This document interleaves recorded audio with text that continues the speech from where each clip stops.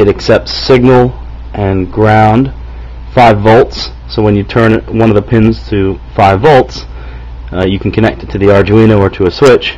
It turns the relay on and it turns power to in this case uh, the little extender wire that's connected to the spotlight. So this is what it looks like. I have four little buttons here blue yellow green and red.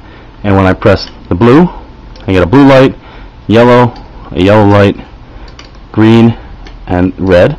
You can see the response time is pretty good. And I can even turn the lights off and it looks really cool.